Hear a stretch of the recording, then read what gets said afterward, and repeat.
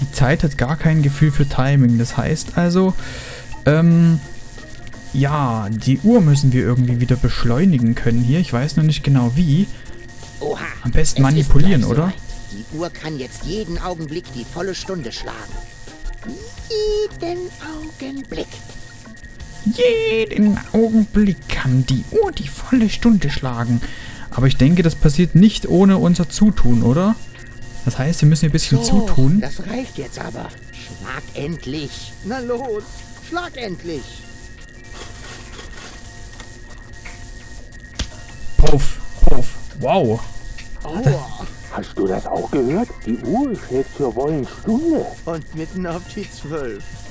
Zeit für deinen Auftritt, Galev. Muss das wirklich sein? Jetzt stell dich nicht so an, sonst gewinnst immer du beim Schnick-Schnack-Schnuck. Aber sonst geht es auch immer nur darum, wer neue Picks holen geht. Versuch dich nicht rauszureden. Einer für alle. Und das bist heute du. Rufus, was treibst du hier? Es gibt eine Planänderung. Die Aufstiegscodes bleiben bei Goal. Du stellst dich gegen den Widerstand? Auf welcher Seite stehst du eigentlich? Auf der Titelseite des Blattes, das sich soeben gewendet hat. Was zum Wow. Ladehemmung? Tja, Pech gehabt. Ha. Rufus? Ah, sehr gut. Du hast es alleine geschafft. Komm mit, es ist noch nicht vorbei. Ähm, warte mal. Aber Goal, wir haben jetzt keine Zeit für sowas.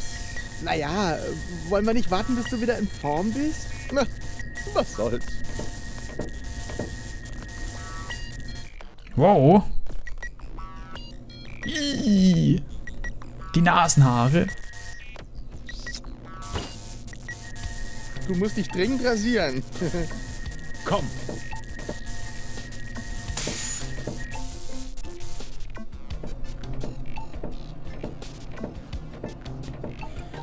Gut. Es ist vollbracht. Ich hab doch gesagt, dass... Doc, warum seid ihr noch gefesselt? Lady Gold sollte euch doch befreien. Hat sie aber nicht. Sie ist durch das Portal in die Zukunft entwischt. Sie ist was? Äh, kein Problem. Krawall Gold ist noch draußen, in Liebolds Körper. Sie wird Lady Gold zur Vernunft bringen. Das war nicht Krawall Goal. Das war die Reinigungsdatasette für meinen Videorekorder. Die anderen beiden Goals stecken noch in der Maschine. Liebold hat nicht mal ein Implantat. Aber die Fernbedienung...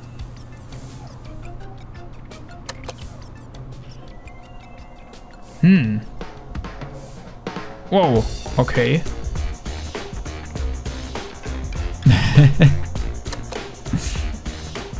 Ach du dicker Vater. Das hieße ja... Rufus! Was hast du mit Galev gemacht? Und mit Liebold? Der Arme ist ganz verstört. Eine Verwechslung. Ich... Hey! Goal, was soll das? Es tut mir leid, Rufus. Ich fürchte, ich muss noch eine weitere Änderung an deinem Plan vornehmen. Hä? Was für eine Änderung? Ja, es ist auch kompliziert, wie alles, was mit dir zu tun hat. Du verursachst nichts als Chaos. Aber dafür bin ich nicht gemacht. Ich kann nicht länger bei dir bleiben. Oh, komm schon, was soll denn das jetzt? Mach auf! Bemühe dich nicht. Die Tür bleibt verriegelt. Ich brauche ein bisschen Vorsprung, wenn ich Klitis finden will. Klitis? Äh, äh, wovon redest du bloß? Wir wollten doch zusammen nach Elysium. Die Welt retten und so. So einfach ist das aber nicht, Rufus. Du kannst nicht alle im Stich lassen und gleichzeitig der Held sein. Es ist unmöglich. Unmöglich ist mein zweiter Vorname. Genau. Es reizt dich, nicht wahr? Du willst immer das Unmögliche. Darum wirst du auch immer unzufrieden bleiben. Du kannst nicht mit nach Elysium, Rufus, weil du Deponia in dir trägst. Mach es gut, Heldenbaby. Aber, äh, Moment. Hm, Ja, aber, aber. hm, Klitis ist doch ein Schnösel. aber Klitis ist ein Schnösel. Klitis ist kein schlechter Mensch, Rufus. Zumindest nicht schlechter als ich. Und bestimmt nicht schlechter als du. Ich bin tausendmal besser als dieser Lackaffe. Zumindest willst du das sein. Ich habe dir verziehen, dass du mein Bewusstsein gespalten hast, dass du mich angelogen hast, dass du mich immer wieder in Gefahr gebracht hast. Und ich habe Klitis verziehen, dass er meine Erinnerung löschen wollte. Jetzt musst du mir verzeihen. Ja, toll. Aber was ist mit deiner Operation? Aber was ist mit deiner Operation? Wir müssen dich doch wieder zusammensetzen. Wozu? Damit die Zweifel wiederkommen? Nein, danke, Rufus. Hm, aber Aber wir wollten doch zusammen die Welt retten. Das gilt vielleicht für Krawallgoal und Babygol. Aber ich bin weder so naiv noch so abenteuerlustig. Ich will einfach nur nach Hause, bevor es zu spät ist. aber Aber ich will doch mit dir nach Elysium. Willst du das wirklich? Ich weiß, dass du etwas beweisen willst, weil du im Schrott aufgewachsen bist, weil nie jemand an dich geglaubt hat. Aber würde es dir wirklich gefallen, dein Ziel zu erreichen? Keine Abenteuer mehr? Keine weiteren Pläne? Ich glaube nicht. na aber na toll. Aber Aber wo ist das Problem? Warum können wir nicht einfach Deponia retten und trotzdem zusammen nach Elysium gehen? Weil es sich gegenseitig ausschließt, Rufus. Tut es nicht? Ich weiß, dass ich das hinkriege. Du weißt eben noch nicht alles. Hast du dich jemals gefragt, warum die Ponia gesprengt werden soll? Was hat denn das damit zu tun? Einfach alles. Elysium ist nicht das Paradies, für das du es hältst. Es ist nur ein Vehikel, ein Raumschiff, um Deponia ein für alle Mal hinter sich zu lassen, um auf Utopia, dem nächsten bewohnbaren Planeten, noch einmal von neuem zu beginnen. Aber Utopia ist fern. Es gibt nur eine einzige Möglichkeit, genug Energie zu erzeugen, um Elysium dorthin zu katapultieren. Die Sprengung Deponias. Was war das? Elysium ist was? Ein Raumschiff? Hast du es jetzt endlich verstanden? Wenn Deponia nicht zerstört wird, wird Elysium bald zurück auf den Planeten stürzen. Wir können nicht ewig ohne einen Heimatplaneten leben, aber Deponia ist kein Ort, um zu leben. Das wissen wir beide. n- na toll. Was ist denn so toll an diesem Utopia? Es gibt frisches Gras, blauen Himmel, klares Wasser. Kurz, es ist nicht Deponia. Na toll. Und jetzt? Warum passiert das alles jetzt? Elysium wurde nicht konzipiert, um ewig in der Atmosphäre zu schweben. Der Organon hat Jahrzehnte gebraucht, um die nötigen Sprengtürme zu bauen. Sie sind um den ganzen Planeten verteilt. Nun ist alles bereit. Ulysses Leute haben den Zeitplan eingehalten. Elysium muss jetzt starten. Andernfalls wird es auf den Planeten zurückfallen. Okay. Was wäre, wenn der Ältestenrat wüsste, dass Deponia bewohnbar ist? Ich weiß es nicht. Ein Teil von mir hat immer geglaubt, sie würden die Sprengung abblasen. Aber das war die naive Goal. Na toll. Okay, ich glaube, ich habe alles verstanden. Aber, Was aber? Aber ich verstehe es immer noch nicht. Ist es denn wirklich so schwer zu verstehen? Nicht, wenn du es besser erklären würdest. Elysium ist also ein Raumschiff. So ist es. Die Väter bauten Elysium, um Deponia zu evakuieren, um auf Utopia, dem nächsten bewohnbaren Planeten, noch einmal von neuem zu beginnen. Leider reichte der Platz nur für einige wenige. Sie konnten nicht alle mitnehmen. Aha. Okay, ich glaube, ich habe alles verstanden. Aber, Was aber? aber es muss doch einen Weg geben.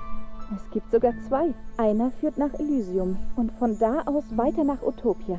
Der andere Weg endet hier auf Deponia, wenn wir ihn denn überleben. Ich habe mich entschieden, Rufus. Jetzt bist du an der Reihe. Hm. Dann nimm mich mit nach Utopia. Und die Sprengung Deponias zulassen? Das willst du doch nicht wirklich, Rufus. Es steckt zu viel Gutes in dir. Die wenigsten sehen das. Aber du könntest niemals so skrupellos sein. Und wenn doch, was unterscheidet dich dann noch von Cletus? Boah, ich pfeife auf Deponia. Hauptsache, ich bin bei dir. Das nehme ich dir nicht ab. Dann lass uns zusammen Deponia retten. Ich habe es dir doch erklärt. Deponia zu retten wäre das Aus für Elysium. Es würde als weiterer Müllberg auf dieser Müllhalde von Planet enden. Aber ich kann so nicht leben. Wer könnte das besser verstehen als du, Rufus? Dann wird es halt etwas Arbeit, na und? Ich habe mich entschieden, Rufus. Es tut mir leid. Es muss doch eine Möglichkeit geben, beides zu vereinen. Vertrau mir, ich krieg das hin. So wie du mich auch wieder hingekriegt hast, Ich will doch nur eine zweite Chance. du hattest deine Chance, Rufus. Deponia hatte seine Chance. Manchmal sind die Dinge so kaputt, dass sie sich nicht mehr reparieren lassen. Behalt ruhig die anderen zwei Datasetten. Da sind nur Zweifel und naive Ideale drauf. Wo ich jetzt hingehe, kann ich die nicht gebrauchen. Ich muss mich beeilen. Donners Tauchboot wartet. Wenn ich bis übermorgen nicht mit Cletus in Porta Fisco bin, wird es zu spät sein. Viel Glück, Rufus. Aber Und das ist Was eine tolle eine Freundin. Frau.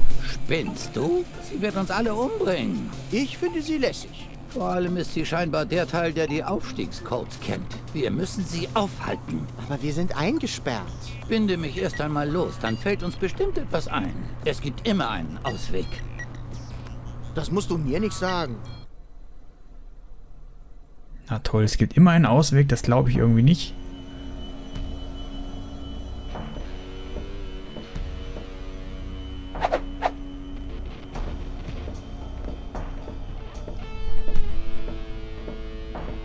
Wusch!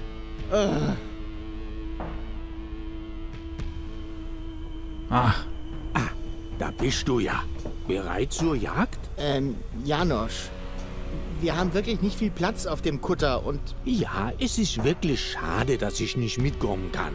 Ich würde auch gern an vorderster Front kämpfen. Seide an Seide, wie früher. Weißt du noch?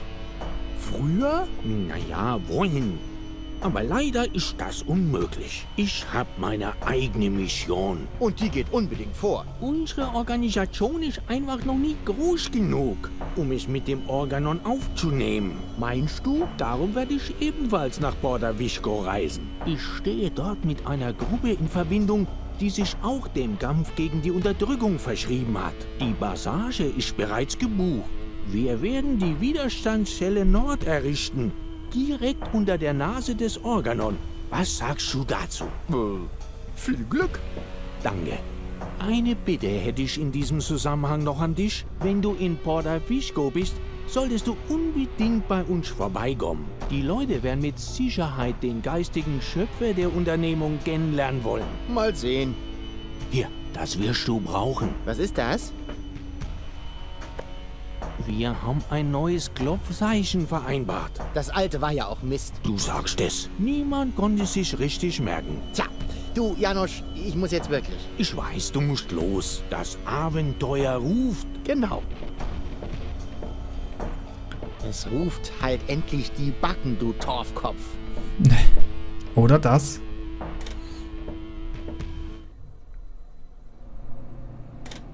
Na endlich, wo bleibst du denn? So holen wir das Tauchboot niemals ein. Ist nicht meine Schuld. Ich wurde von einem Stadtstreicher belästigt. Wo soll's überhaupt hingehen? Donner, ich sagte etwas von Porta Fisco. Also sollten wir dahin. Ich denke, wir sollten erst einmal die Peilung vom Tauchboot aufnehmen. Wenn ich mich recht entsinne, gibt es einen Funkmast auf Isla Obacht. Vielleicht kann ich den Sender so manipulieren, dass unser Sonar die Signatur des Tauchboots erkennt. Und bis dahin ist Donner über alle Berge. Nein, danke. Ich sage Isla Obacht. Boso ist der Kapitän. Und er ist auch für Fisco, nicht wahr? Also meinetwegen können wir auch zur Polkappe fahren. Hauptsache, ihr einigt euch langsam mal. Genug. Ich entscheide, wo es lang geht. Genau. Ähm, Rufus, das ist nicht die Navigation. Das ist mein Ohrhaarentferner. Aha. So, was haben wir hier? Fragezeichen. Was ist das eigentlich alles? Porta Fisco. Fragezeichen. Schwimmender Schwarzmarkt. Das sind wir jetzt. Ach, das ist alles Festland, oder was? Da können wir überall nicht hinfliehen, äh. Wir können nach Porta Fisco zum Fragezeichen oder zum Fragezeichen. Und was ist das?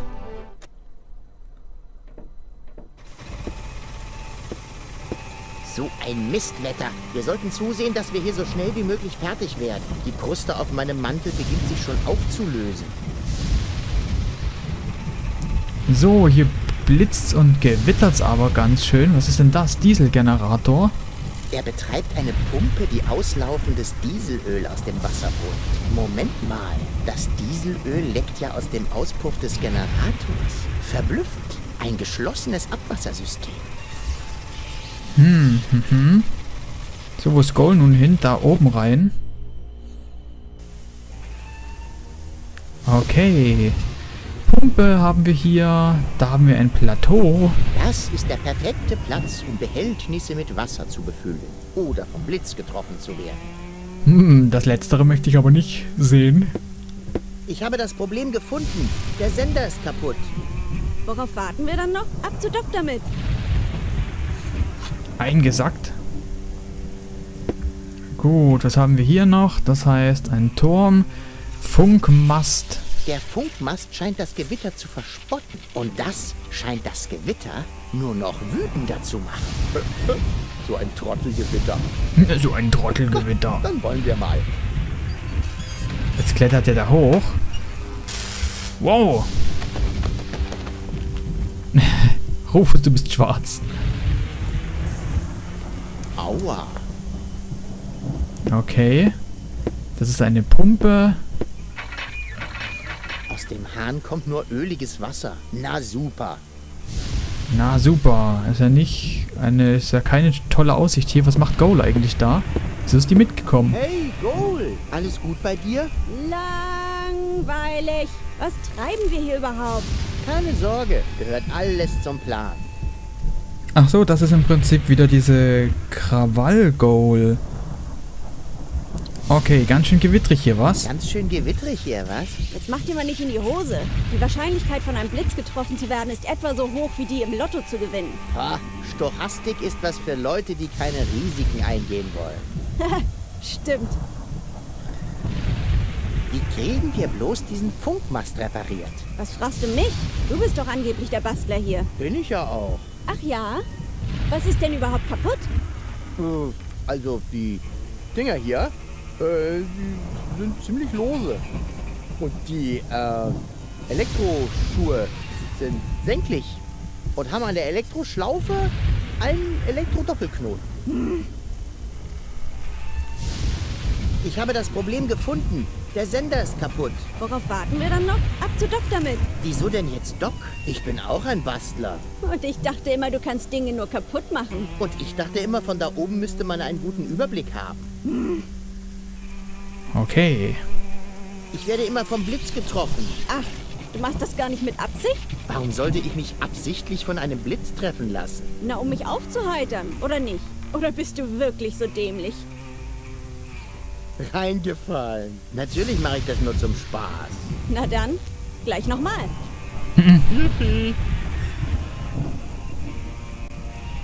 Ich habe einen Plan. Kannst du dich kurz da drüben auf das Plateau stellen? Tja, warum eigentlich nicht? Was spräche dagegen, sich mitten in einem Gewitter auf eine erhöhte Plattform zu stellen? Also machst du es? Himmel, nein! Für wie naiv hältst du mich denn? Fehlt nur noch, dass du mir einen Kübel Wasser für die Füße hinstellst. Oder mir einen Regenschirm in die... Rufus? Moment mal. Naiv, Kübel Wasser, äh, Regenschirm. Du planst doch nicht etwa, mich als menschlichen Blitzableiter zu benutzen, oder? Käme ich nicht im Traum drauf. Gut so. Nee, Moment. Nicht im Traum, aber im wachen Zustand? Zu spät. Mist. Okay, er will also Weiter Goal geht's. als Ich hoffe, du Blitzableiter weißt, was du tust. nehmen. Fernbedienung, das ist doch die von Goal, oder?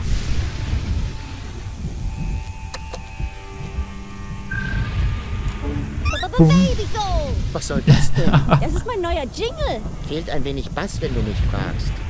Ba- Baby Goal. Hey, Goal. Alles gut bei dir? Nicht wirklich. Ich habe Angst vor Gewitter. Ich bin ja bei dir. Ganz schön gewittrig hier, was? Oh ja, wie schaffst du es nur so ruhig zu bleiben? Wenn du erst dreimal hintereinander in dieselbe Steckdose gefasst hast, dann, dann, dann weißt du noch, wie du Sätze angefangen hast, selbst wenn du schnubbeldiwubbeldiwupp, Ich kann noch so viel von dir lernen. wubbeldischnupp, Wubbeli schnupp, die Wubbeli. kriegen wir bloß diesen Funkmast repariert. Oh je, damit kenne ich mich nicht aus. Nimm es dir nicht zu Herzen. Du bist ja auch kein Universalgenie wie ich. Ich muss eine unglaubliche Enttäuschung für dich sein. Unglaublich würde ich jetzt nicht sagen. Aber weißt du was? Ich schaue dir einfach ab jetzt bei allem, was du tust, ganz genau auf die Finger. Weil du ja immer weißt, was du tust, werde ich auf diese Weise extrem schnell dazulernen. Genau. Ich versuche mir alles ganz genau zu merken. Super. Schritt 1, rumstehen und zittern. Wäre ich nie drauf gekommen. oh Mann. Ich habe das Problem gefunden. Der Sender ist kaputt. Oh je. Hoffentlich kann Doc ihn reparieren. Wieso denn jetzt Doc? Ich bin auch ein Bastler. Hatte ich glatt vergessen. Ich werde immer vom Blitz getroffen. Oh nein, du Armer. Warum trifft das Unglück immer die Besten? Eine sehr gute Frage. Ich wünschte, ich könnte dir irgendwie helfen. Aber alles, was mir dazu einfällt, sind ein paar dumme Tipps, wie man sich bei Gewitter verhalten sollte. Und Okay. die kennst du ja bestimmt, so klug wie du bist.